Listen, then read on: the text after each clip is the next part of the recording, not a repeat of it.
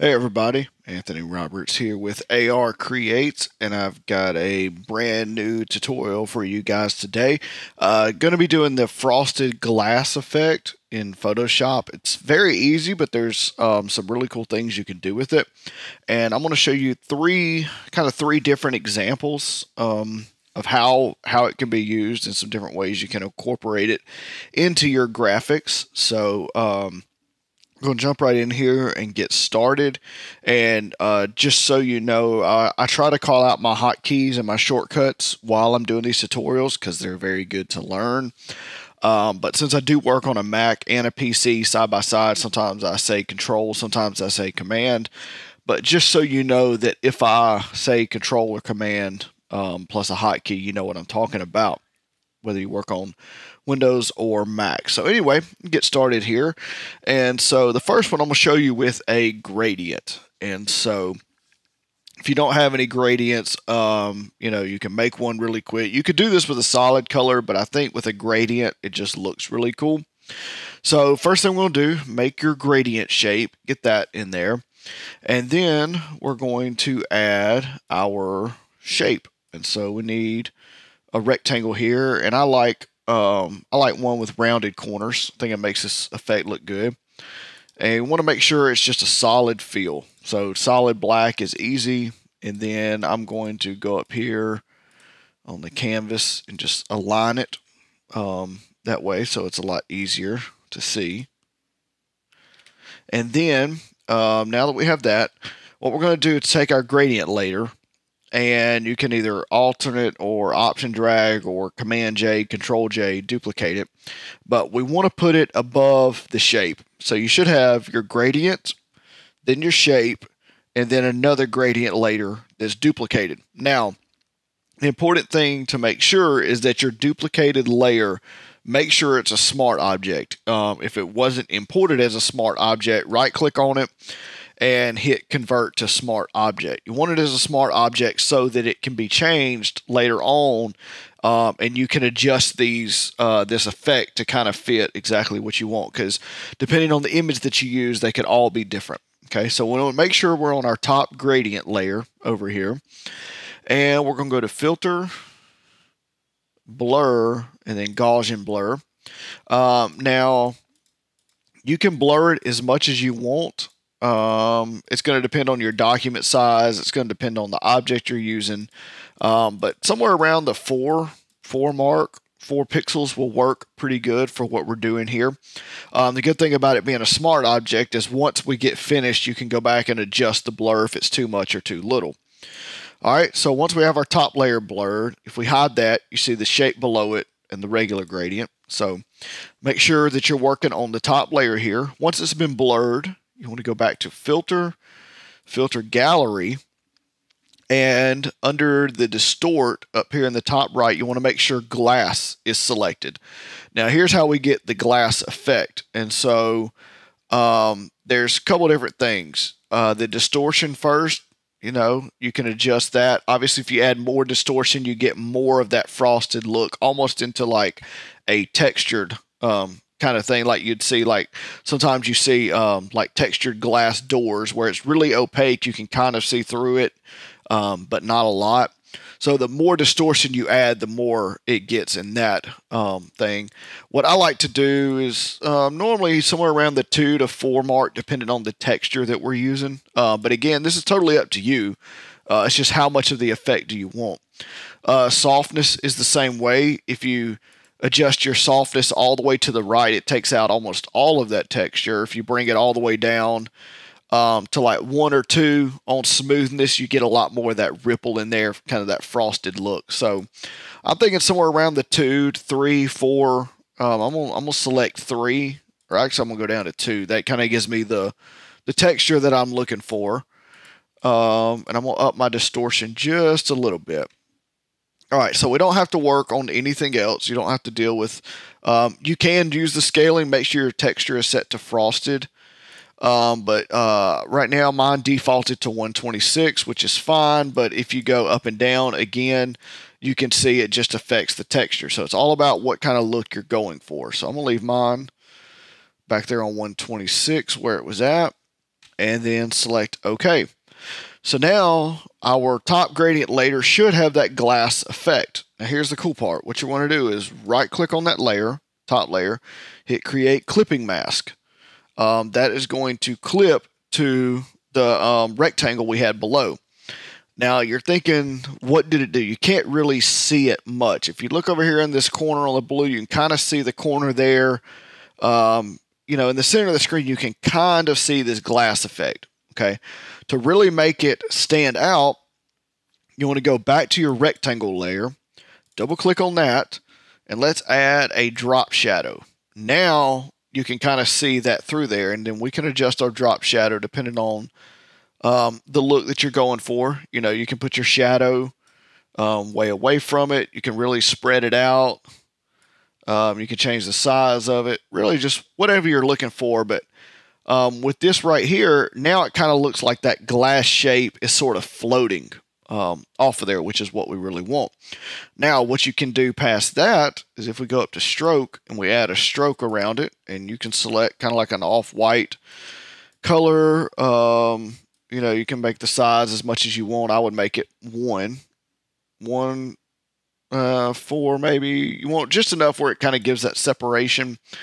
Um, we can turn the opacity down just a little bit so you sort of get that shape there. Um, so anyway, so that's like the really easiest way to do this. And so if you're looking at it on a gradient, it really does look kind of like a opaque um, piece of glass. So that's one way to use this. Um, you know, it's like I said, it's kind of the most basic, easiest way. But if you put some text in it, you can really make your graphic stand out. Now, where this effect really looks cool is when you start using it on photographs. And so I want to go up here and this is the next one that I'm using. So I'm using this uh, photo from Unsplash and it's just of a bush, um, you know, bush is a hedge, something like that. So I'm going to take my same rectangle. I'm going to alternate drag it up there on top of this one. So now I have this in the middle. And I'm going to remove all of my effects from it. And then what I'm going to do is the same process. I'm going to drag a copy of um, the leaves on top of that shape. So we're basically just duplicating the first three steps that we did, the first three layers on the gradient. Okay. Um, we're going to do the same thing. Go up here to filter, blur, Gaussian blur, and you know we, we don't want to blur this one as much because we want it to look more like you know a little bit clearer glass that we're going through. This is where the effect really stands out. All right, and then we're going to go to filter, filter gallery. Now you can see a lot more distortion. We can see a lot more in our glass kind of look to this. So if I do this as like one, and then I up the smoothness, you know, a little bit to say like three, um, and then let's change our scaling down. Let's go down just a little bit so it's not as much. All right, so this is going to be, it's going to be like looking through glass, but um, a lot clearer than we did on the gradient one. So hit OK. And so we're going to right click on that again and create clipping mask. And so again, now we can kind of see the center of our image has got that glass effect while the rest of it does not. All right, so we can go back. Let's enable our stroke and our shadow again. And if we double click into this layer, we can adjust it for this. I'm to turn the stroke off for a minute. Go back to the drop shadow. Make the drop shadow just a little more prominent there. As you can see.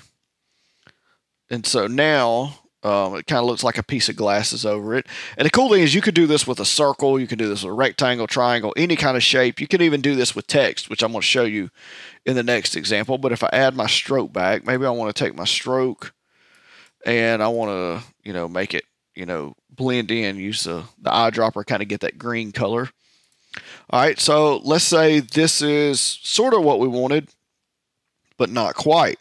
The good thing, this is why I told you keep it as a smart object. We can go back to our filter gallery, go back into this, just double click on it, and let's up the distortion. Okay, see, and now just by a click, now we've changed it some more. All right. Um, if we wanted it to be a little less blurry, you know, we could do that. We could take the blur down a little bit And then let's go back and adjust our distortion some more.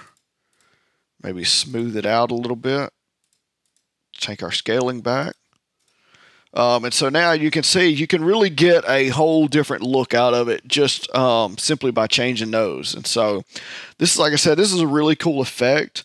Um, to me, it looks best when it has that frosted look to it. It really gives the impression of it being glass. Um, and there's some other things you could do to it if we really wanted to take it up a notch. Um, you can go back in. We can add um, kind of an inner shadow to it, put some glow around it, you know, adjust the glow.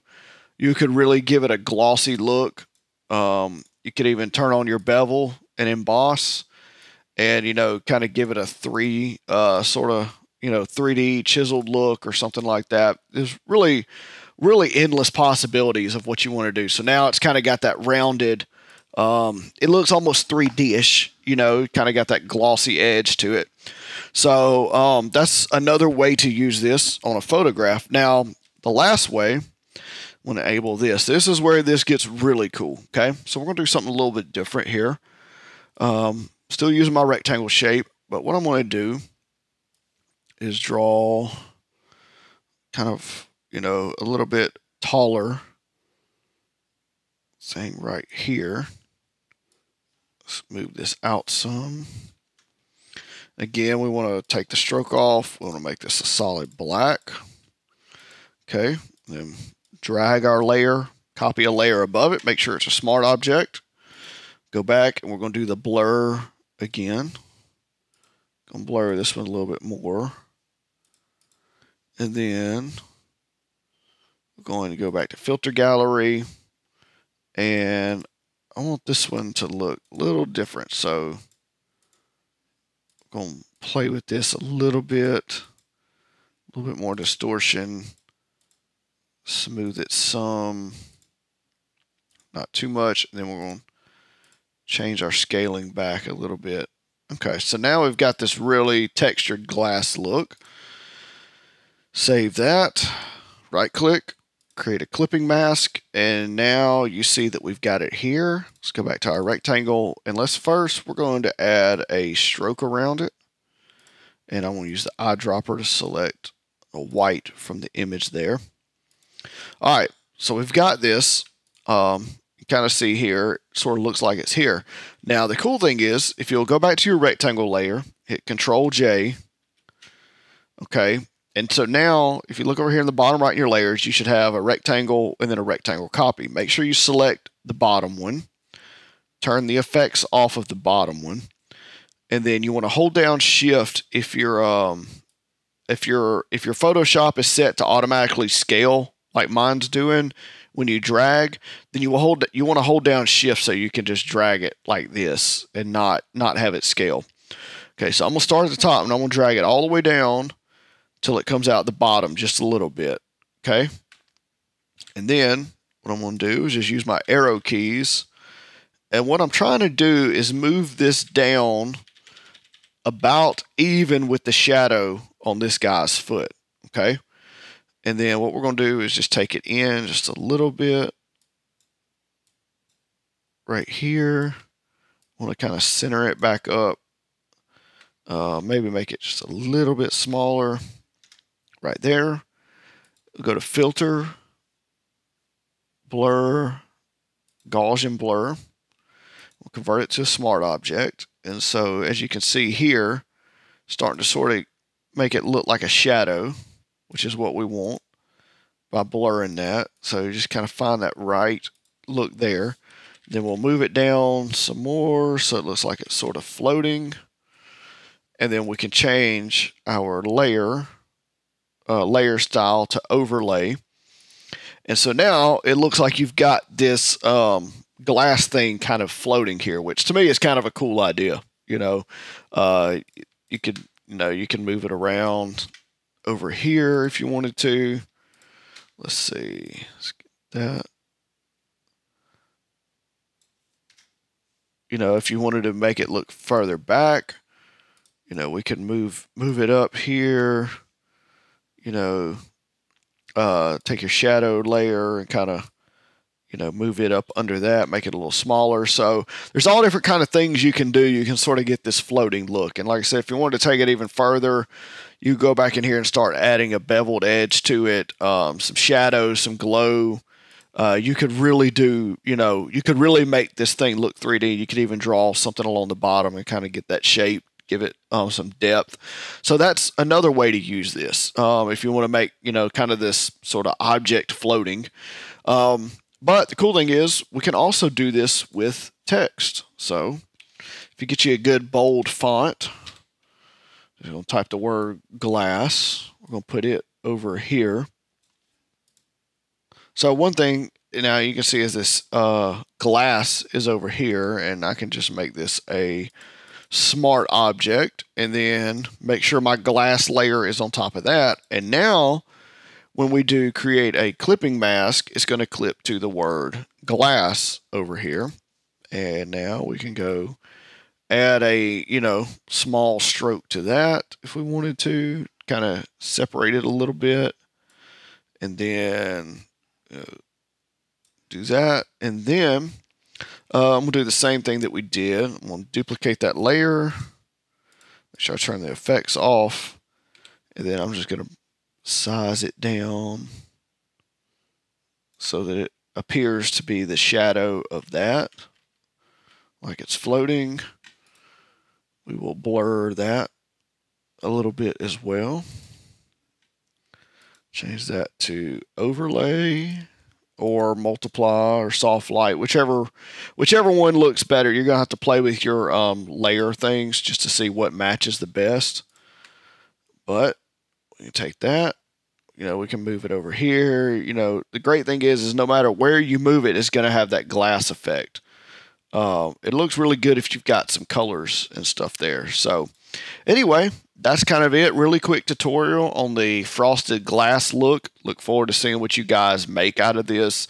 Um, it's a really cool effect. It's really simple, but it can add a lot to it. So um, if you make something out of this using this tutorial, tag me on Instagram at AR Creates. I would love to see it. Um, always encouraged by how you guys use my tutorial videos. So anyway, that's it. I'll see you guys next time.